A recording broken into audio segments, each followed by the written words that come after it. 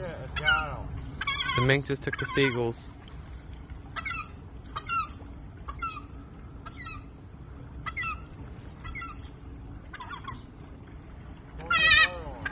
Oh my god. Jason, snag that mink off there.